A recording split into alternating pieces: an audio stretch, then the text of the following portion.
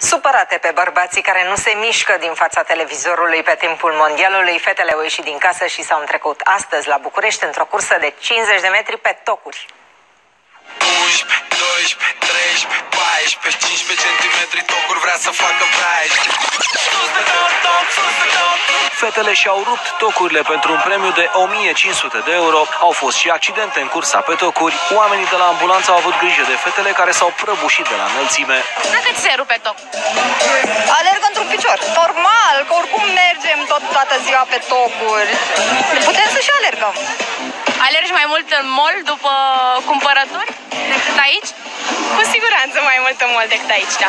Mai ușor decât pe balerin sau tene? Uh, cred că aproape la fel. Mai avut viteză. Sper, sunt uh, sportivă.